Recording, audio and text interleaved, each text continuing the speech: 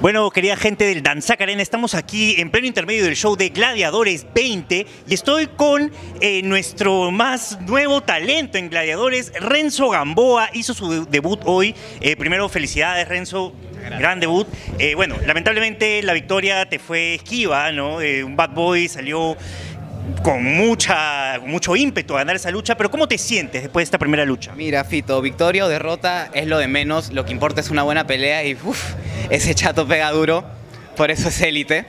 Pero las vibras no faltaron hoy día. La gente súper linda, súper emocionado.